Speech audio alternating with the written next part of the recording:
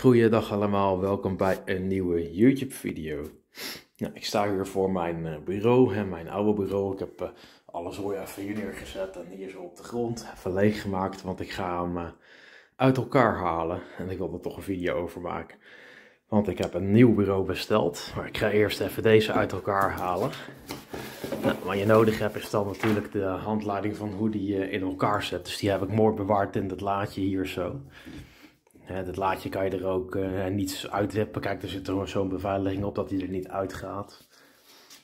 En uh, de reden dat ik hem vervang is uh, dat ik weer terug in de IT ben en zo'n stabureau heb gekocht. Dus kan ik er wel staan en zitten. En met dit bureau kan ik alleen maar zitten. Nou, zit als volgt in elkaar. En een andere reden is trouwens dat deze zijkant die hier zit, die is helemaal uh, kapot door het heen en weer schuiven met het, uh, het behangen. Daar heb ik ook een video van. Dat was echt verschrikkelijk. Dus ik heb het uiteindelijk laten doen, hè, dit behang. Dus link in de beschrijving als je die video wil zien. Maar ja, niet aan te raden om te kijken eigenlijk. um, nou, hier zo heb je dus hier een achterplaat zitten met deze schroefgaten. En hier dat, die topdekker, dat is deze nummer 1. En dan zit hier nog een, uh, een kastje en een, een, laadje hier aan de voorkant. Ik laat wel eventjes van, uh, van voren zien. Zo ziet het hele bureau eruit. Dus eigenlijk het enige wat ik nodig heb is hier mijn accu-schroefboormachine en ja, mijn vuisten om die, de bladen van de deuvels los te trekken. En om de schade te laten zien, hier zit nog een schade dus van het heen en weer verhuizen van het behangen. En daar, dus die is ook echt door en door aan het scheuren. En hier zitten dan die die dingen om die schroefjes af, af, te dekken. Maar je ziet het hier ook alweer gebeuren, enorme schade. Dus uh, ja, dat hout ga ik wel bewaren, maar dat bureau uh, dat gaat dus uit elkaar uh, op mijn vliering liggen. Dus nou, ik ga het eerst eventjes kijken hoe ik het laadje eruit kan krijgen. Nou, deur, deurtje zit natuurlijk met van die scharnieren vast, dus die schroef je er gewoon zo uit met die schroefjes en die schroefjes. En het laadje zit nog vast met beveiliging aan de zijkant. En misschien moet ik hem optillen om hem weer uit te krijgen. Nou nee. Dus ga ik even uitzoeken hoe ik die eruit kan krijgen. En dan ben ik eh, straks eh, bij jullie terug eh, met de onderdelen van het nieuwe zitten staarbureau. Dus nou, ik ga het eventjes schroeven en uit elkaar halen. Tot zometeen. Nou, hallo allemaal, daar ben ik dus weer. Is het bureau nu helemaal uit elkaar. Ik heb alle schroefjes en dingetjes in het laadje gedaan. Dat is natuurlijk wel handig. En nou, ik wil zeggen, ik ben zo'n beetje een half uurtje bezig geweest met alleen de accuschroefboormachine. En ik had nog een spanningszoekertje hier ergens, ja hier zo. Om die, uh, die uh, bruine dopjes allemaal eraf te wippen. Want met je nagel, uh, dan breek je nagel gegarandeerd af. En dat deed wel zeer. Dus voor dat soort dingen gebruik ik dan gewoon een schroevendraaiertje of een spanningszoekertje. Voor dus die, deze bruine dopjes van deze dingen af te wippen. Nou, dan ga ik uh, nu alles uh, naar mijn vliering brengen en uh, eerst nog even stofzuigen met al het houtkruimel hier. En dan haal ik het, het nieuwe bureau naar boven en dan gaan jullie dat zien, dus tot zo. Goeiedag allemaal, daar ben ik dus weer. Ik heb hier het eerste deel en je krijgt er een dikke inbussleutel bij en allemaal bouten en wat van die knopjes om die hoogte te verstellen. Nou, ik heb hier de rest neergezet, hier nog eventjes op de gang zodat ik het uh, kan doornemen. Nou, je krijgt er ook uh, een handleiding bij. Nou, er staat eigenlijk helemaal uh, niks in. Hier is die QR-code, dus of jullie het willen doen, hij is van de Lidl. Als jullie het ook willen opbouwen. ik heb trouwens geen sponsoring met Lidl of zo. Ik vind het gewoon een hele goede non-foodzaak met goedkope dingen. Hier ligt ook een artikel wat ik daar ooit heb gekocht. Die uh, ja, hoe noem je dit ook alweer? Accu-schroefboormachine. Hè? Ik kan lekker slecht uit woorden hè? met zo'n accu waarbij je ook met die streepjes hier zo de batterij uh, kan zien hoe vol die nog zit. En uh, ja, dit ding is echt wel een, een sterke accu-schroefboormachine. Dit is de, de Parkside Performance serie. Nou, ik vind het een heel goed apparaat. En nou, dat bureau heb ik dus ook bij de Lidl gekocht. En evenals mijn, mijn schroevendraaier maar die laat ik nu even niet zien. En verder krijg je een heleboel piepschuim buiten. Dus heb ik allemaal hier in de doos al gepropt. En ja, weer even gestofzuigd, want het is uh, ellende. Maar ja, je hebt eigenlijk alleen maar die inbusbout nodig. En hier zitten al die, uh, ja, die gaten, die spreken eigenlijk voor zich hoe je het in elkaar moet zetten. dit is een zijkant van het bureau. Nou, dit is de andere zijkant. En daartussen maak je dan deze stang. Dan heb je het skelet al. En daarbovenop komt natuurlijk het tafelblad. Alleen hoe dat zit met het mechanisme, dat ik zelf ook nog uitzoeken. Ik ga hem in elkaar zetten, dan zien jullie straks het eindresultaat. Tot zometeen. Nou, hallo dames en heren. Ik wil jullie toch wel even meenemen door het proces. Uh, ik zie hier uh, dit witte ding, dat wordt dan zeg maar de, ja, de poot die naar voren wijst. Dus nu staan ze zeg maar precies op zijn kop.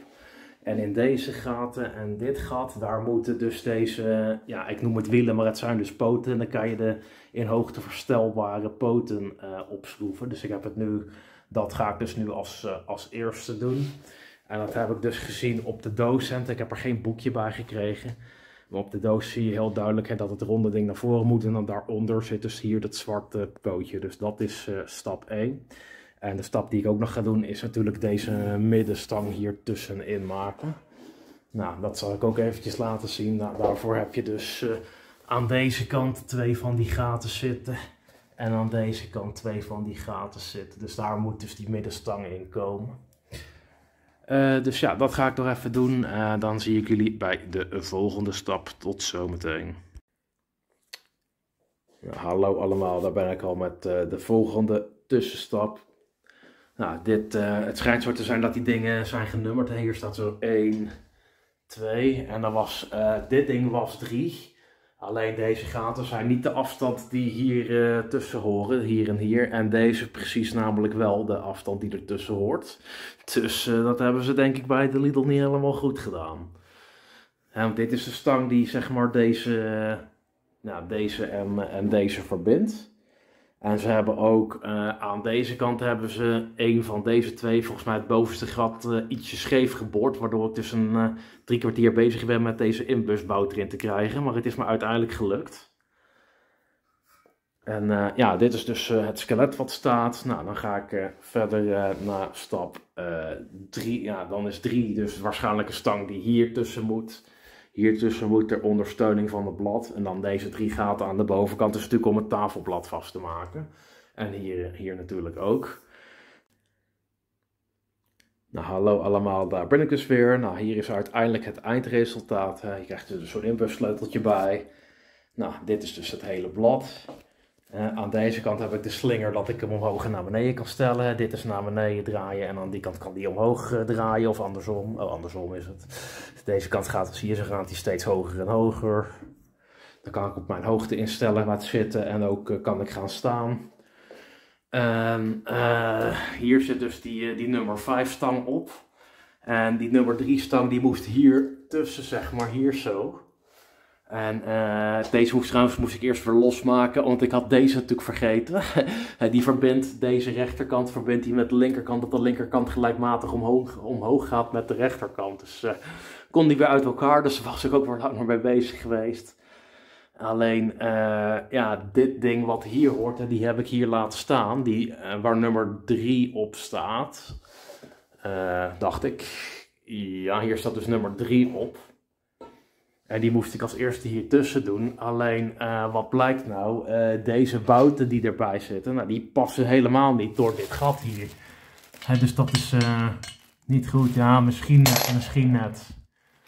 Maar ja, ik kreeg ze in ieder geval niet door. En ik dacht eerst van, hé, hey, die hoort dan misschien hier, die bouten. Alleen deze inbussen, die zijn de enige inbussen die op deze pasten.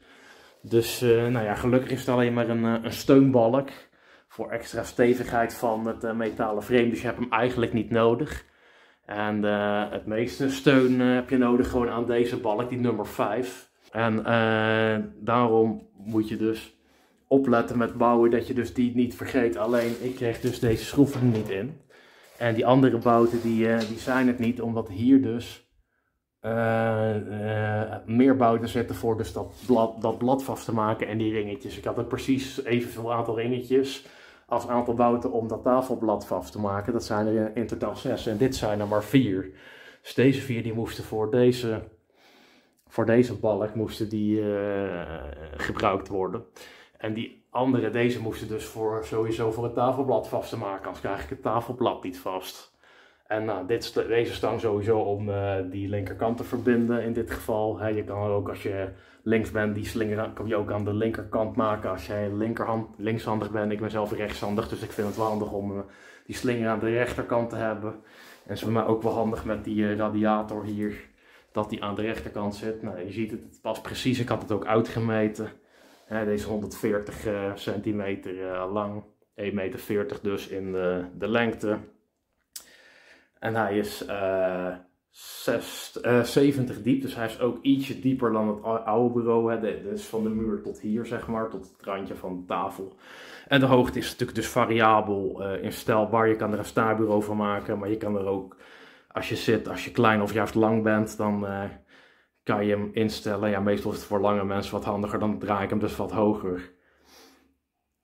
Ehm, nou, eh, dit is dus echt wel een fout dat dit eh, nummer, eh, nou het is niet een fout dat het nummer 3 was, maar die bouten die passen er echt voor geen meter door. Dus dit, dit gaatje, ik heb het geprobeerd toen ik hem in elkaar aan het zetten was. Maar goed, ik heb geen zin om hem weer helemaal uit elkaar te halen en het is toch maar een, een steunbalk. Dus ja, let daarop als je hem in elkaar zet, dat je dan die juist als eerste probeert in elkaar te zetten. Alleen vergeet dan niet als je één kant van het ding hebt gedaan, dan moet je dus ook deze stang ertussenin doen. Anders kan je weer uit elkaar halen. En hetzelfde geldt dan dus voor dit ding. En met dit ding ben ik wel heel lang bezig geweest.